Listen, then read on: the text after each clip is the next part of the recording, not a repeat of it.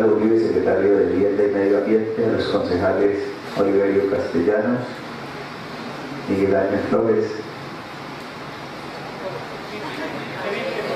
a Felipe Corso, mucho gusto, doctor Corso, haber tenido la posibilidad de saludarlo, a José Carmen Ortiz, secretario de Cultura, a la doctora Hernández, que viene de la Secretaría de Agua del departamento, las compañeras del Consejo, doctora Blanca Cruz, amigos de los medios de comunicación.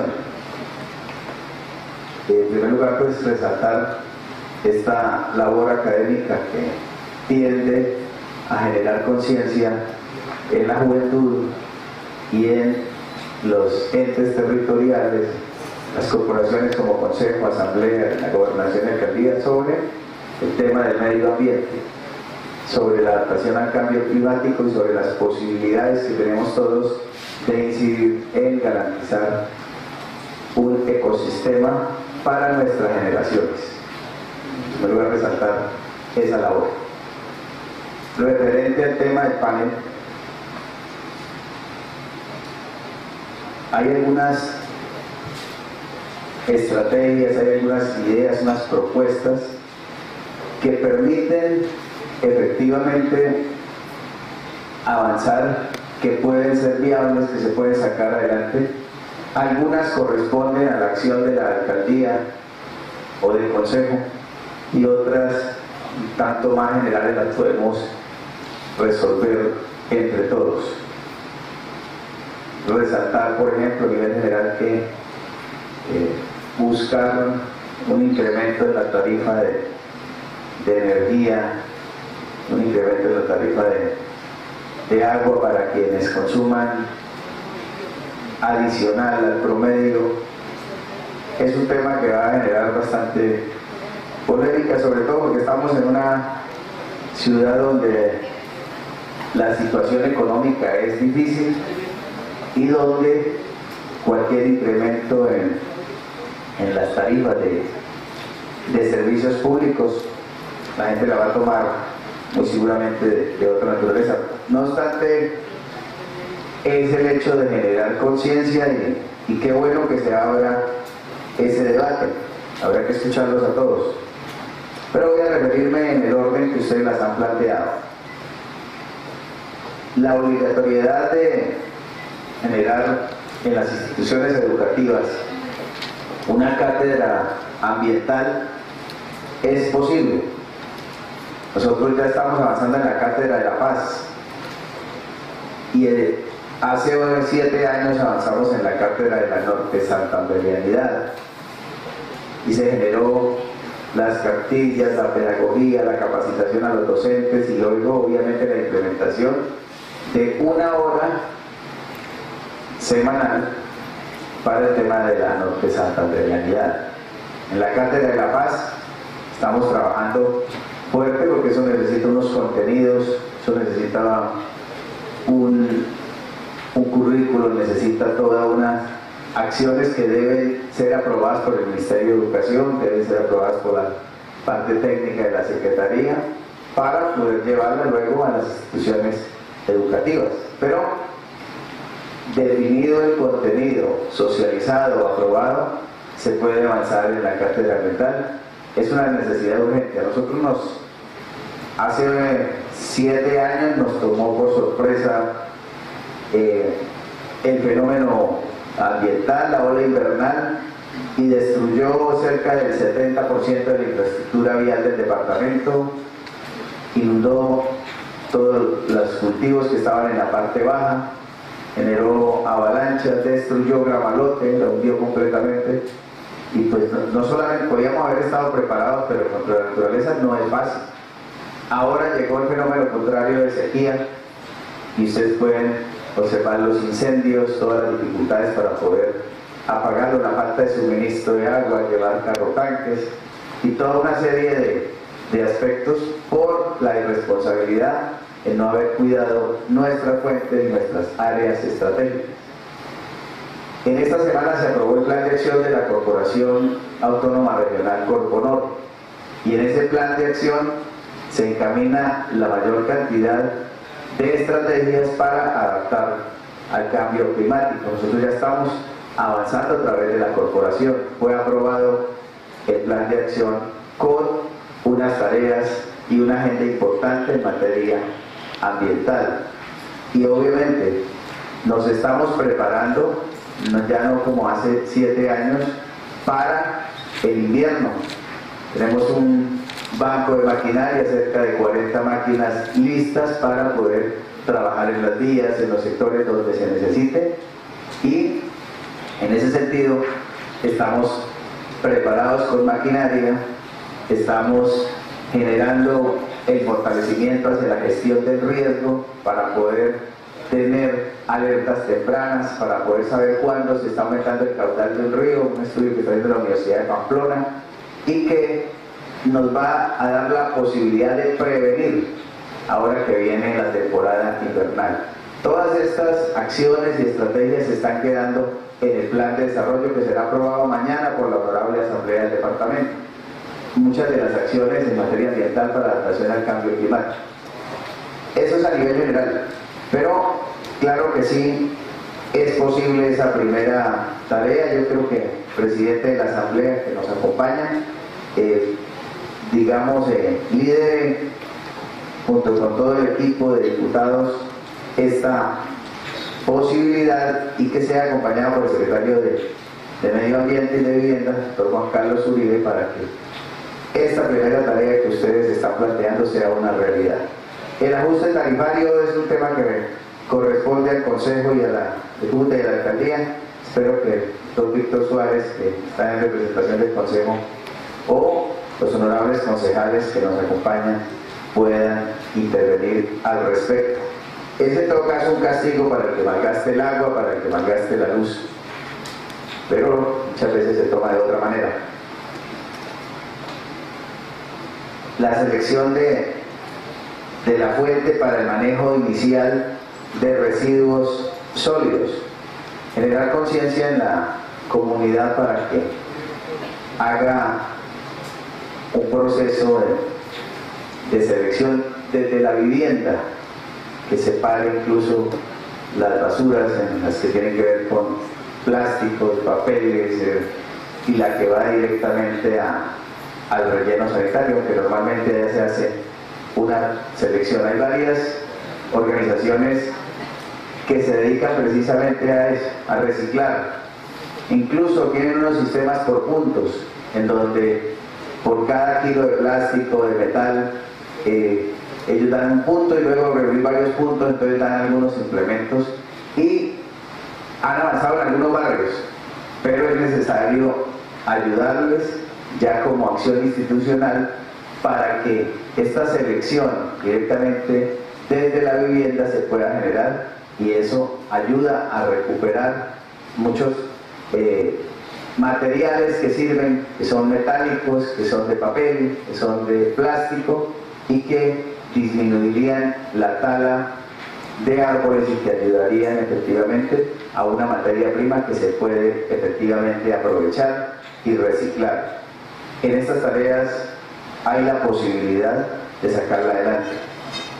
Incentivos tributarios a que realicen modificaciones estructurales para reducir el consumo de agua y demanda exagerada de energía, esa tarea que es un incentivo, sí se puede sacar adelante. Corresponde en todo caso a la alcaldía y al municipio. Generar condiciones y actividades pedagógicas anuales para que todo menor entre 5 y 15 años siembre un árbol alrededor de una fuente hídrica. Ya se han realizado varias campañas de siembra de árboles el 12 de octubre, que es el día de la, de la raza y con efecto del cambio climático importante tener por lo menos 50.000 árboles en el área metropolitana y otro tanto en el resto del departamento y poder motivar a los jóvenes para que hagan esa tarea. Nosotros estuvimos ya en Salazar, allá se logró sembrar 50 palmas en el parque principal, pero era para motivar a que, a que empezáramos a hacer esta gestión.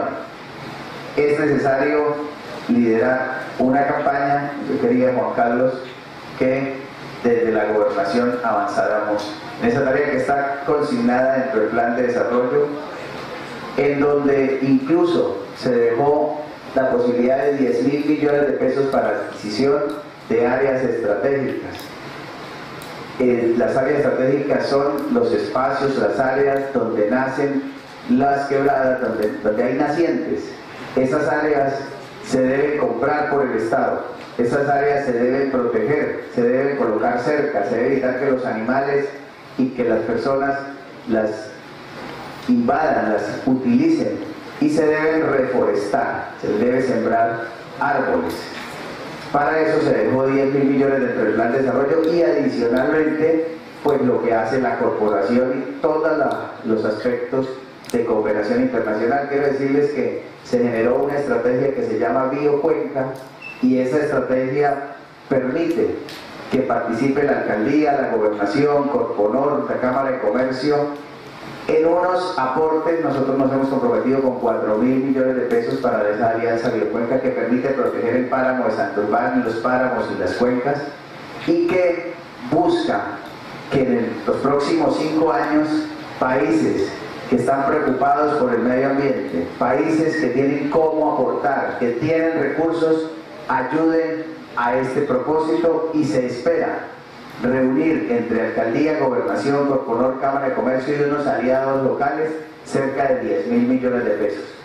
Pero con ello se busca también que la cooperación internacional, que es el objetivo fundamental, ayude, países como Suiza están interesados en que se le presenten las propuestas cuando vean la, la biocuenca armada como una ONG que va a ayudar a los páramos cerca de 90 mil millones de pesos. Es la apuesta a nivel internacional para la protección del medio ambiente. En eso vamos a, trabajar más todas las acciones que están quedando, no solamente en el plan de acción de Corpo Norte, sino en el plan de desarrollo del Departamento Norte de Santander. Se promoverán acciones para incentivar el uso de medios de transporte alternativos, pues está muy de moda utilizar la bicicleta, descongestiona el medio ambiente, se menos ayuda a la movilidad, menos vehículos en la ciudad y ya son cuatro las ciclopaseos que hemos realizado a los diferentes municipios, estuvimos en Salazar, en Cuputilla. Este domingo están invitados al gran ciclopaseo que es un homenaje a la niñez y a la juventud, se llama Pedaleando en Familia por el Norte, desde la gobernación hasta el malecón, pero se trata de que los papás y los niños puedan hacer este situación. Buscamos entonces promocionar medios alternativos, pero qué bueno sería que los estudiantes aquí en la Universidad Libre y en todas las universidades pudieran llegar también por lo menos una o dos veces a la semana en bicicleta.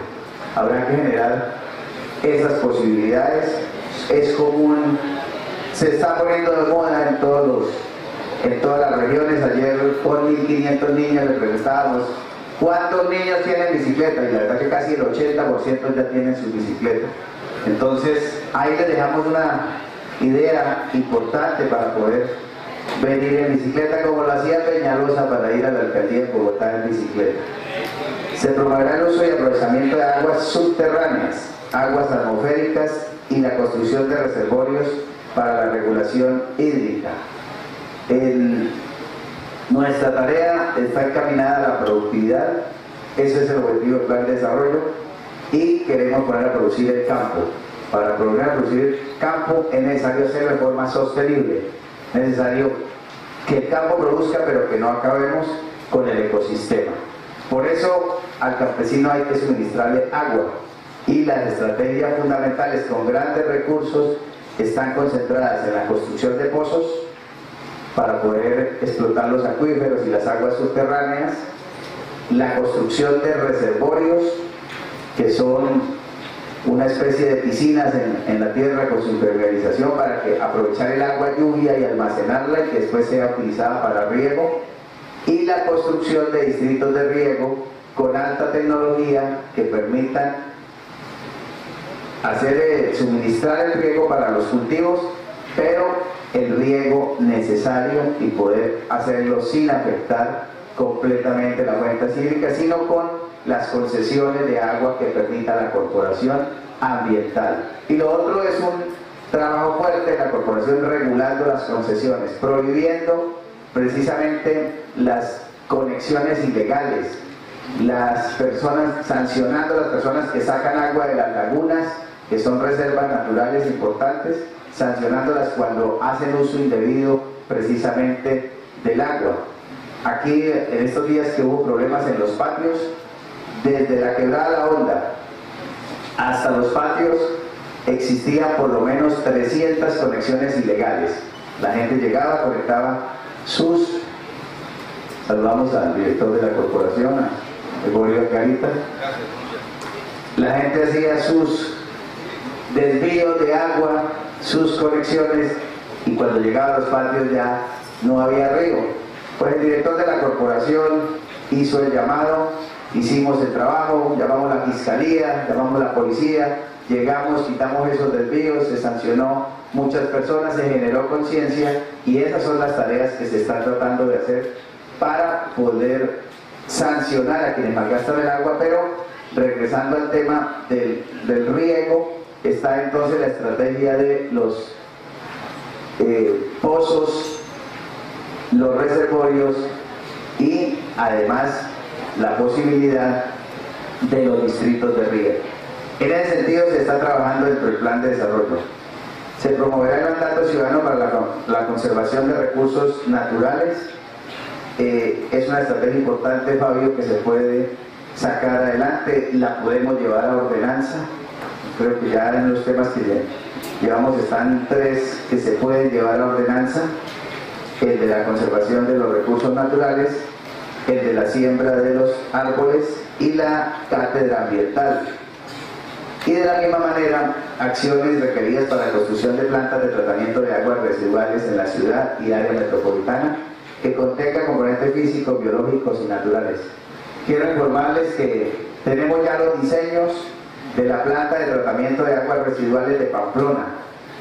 Esta obra cuesta 28 mil millones de pesos, pero es una obra que es necesario construir porque en estos momentos toda la ciudad de Pamplona, sus aguas negras llegan al río y de ahí hacia abajo, pues por el camino, el río trata de recuperarse y la oxigena y obviamente le da cierta posibilidad de, de salir adelante, pero es necesario entregarle el agua al río en condiciones similares a las cuales se recibió. Y para eso se debe construir esta planta de tratamiento. Ya se avanzó dentro del plan departamental de aguas, no es el secretario porque está en otra tarea, pero está su representante, para estos diseños y en este momento ya se tienen 12 mil millones de pesos para construir la primera fase de esa planta de tratamiento.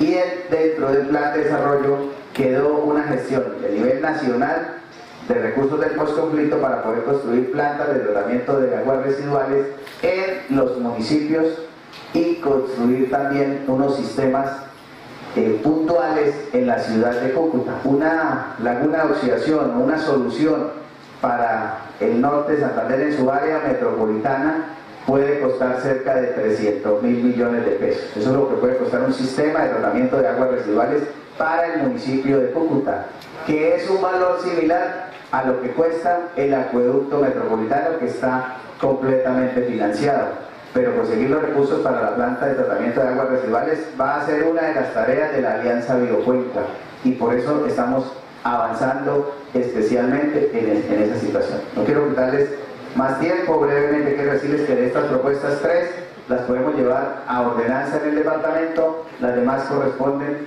al municipio de San José de Cúcuta, a la alcaldía a los honorables concejales hacer el respectivo análisis y alguna de ellas es generar una campaña para el tema del reciclaje y para otro tema de promoción de la ciudadanía en favor del medio ambiente. Yo les agradezco la invitación, estaremos atentos para trabajar y decirles que estamos efectivamente concientizados de que debemos garantizar no solamente el ambiente para y los recursos naturales para nuestra generación, sino para las generaciones posteriores que serán precisamente ustedes y serán precisamente sus hijos y sus nietos. En ese sentido estaremos trabajando. Muchas gracias.